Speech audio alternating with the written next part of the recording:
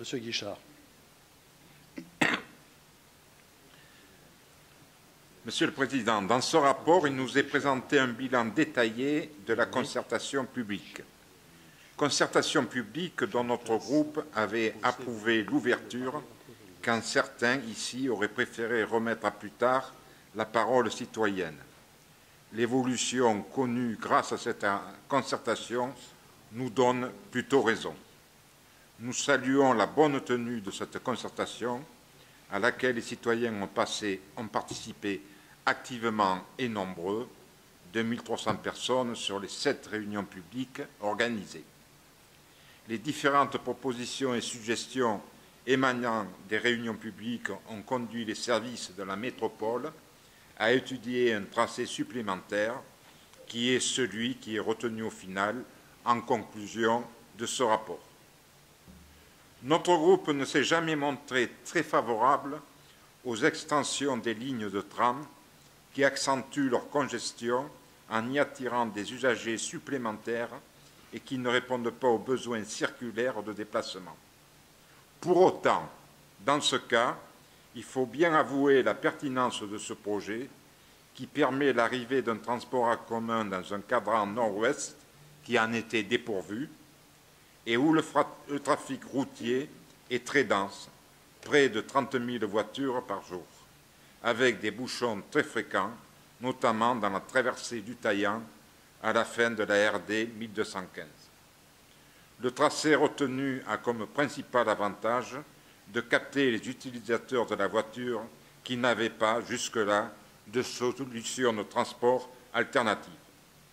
Il permet également des développements futurs en direction des quartiers ouest de Saint-Médard, mais permet aussi d'envisager un rattachement futur à d'autres modes de transport, type tram-train, vers le bassin de population de Lacano, qui connaît un très fort développement démographique et qui aura besoin en transport auquel il faudra bien répondre.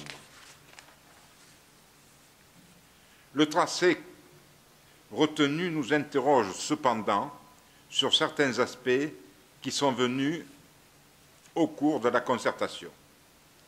D'abord, parce qu'il ne dessert pas suffisamment les zones économiques, Hayan notamment. Deuxièmement, le choix de la voie unique ensuite qui, sur de si longues distances, peut occasionner de lourdes perturbations en cas d'incident technique ou panne. Troisièmement, les deux parkings relais de 250 places suffiront-ils à absorber le report modal de très nombreux usagers de la route à cet endroit? C'est une question. Enfin, le positionnement d'un parking relais en plein centre-ville de Saint-Médard est-il judicieux et ne risque-t-il pas, d'accentuer le trafic automobile au cœur de Saint-Médard? Là aussi, c'est une question. Au final, ce rapport rend bien compte de la richesse des échanges écrits et oraux au cours de cette année de concertation, et même si nous regrettons quelque peu la manière dont les arbitrages et les choix ont été annoncés dans la presse, avant même que les élus aient pu en discuter en commission, nous approuvons le choix de ce tracé pour l'extension du réseau de la ligne D vers Saint-Médard en desservant le Taillan.